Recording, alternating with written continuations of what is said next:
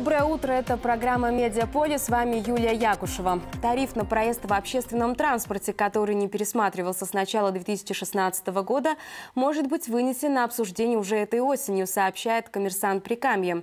Намерение пересчитать экономически обоснованный тариф на проезд подтвердили в мэрии Перми. Этот вопрос традиционно является дискуссионным в отношениях мэрии и Думы. Как передает издание слова депутата Гордумы Александра Филиппова, цитирую, «Основная проблема проблема состоит в отсутствии справедливой и независимой оценки учета перевоза льготных пассажиров.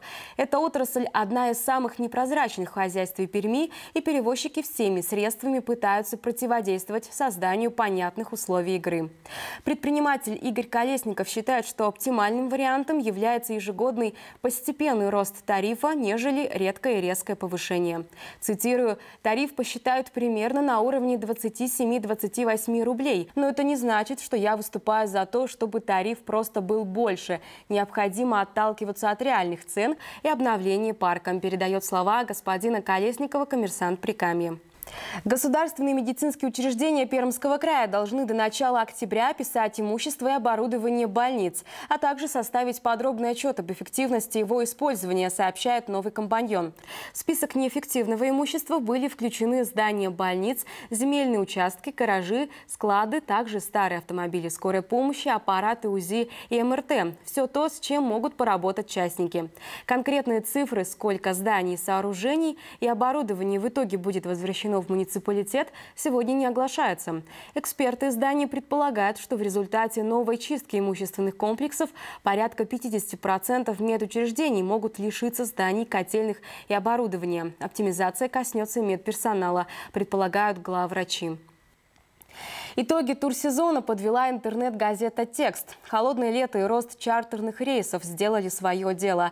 Турпоток в Перми этим летом существенно вырос. При этом главной причиной его роста стала Турция, пишет издание. Одна из причин такого натиска – стоимость перелета, которая в этом году равносильно перелету до Крыма или Сочи. И если одни туристы вновь открыли для себя Турцию, то другие – Черногорию, китайский остров Хайнань и Доминикану. А вот на российских курортах в этом году ажиотаж ажиотаж меньше. Причина вся та же – высокая стоимость перелета и туров по сравнению за границей. Необычной тенденцией в этом году можно считать путешествия дикарями в Непал и в Гималаи. Цитирую. «Такого не было никогда. Та же история с Эльбрусом. Если пару лет назад покорение горной вершины считалось редкостью, то нынче это в порядке вещей. Пожалуй, только в этом году на Эльбрусе побывали сотни пермяков», говорит директор турагентства «Дом солнца» Евгения Друида.